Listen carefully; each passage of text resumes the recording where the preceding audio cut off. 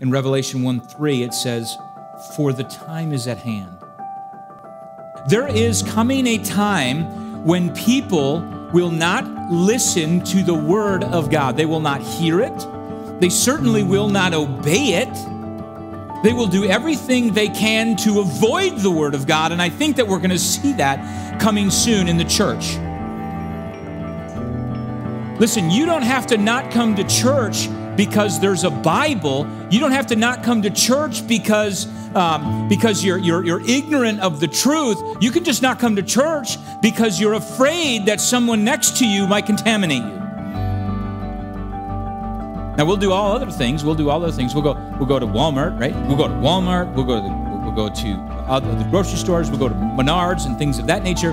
But you know what? People I think are going to be scared to come back to church, and they might use this as a as a reason. Time is running out. For the time, it says, is at hand.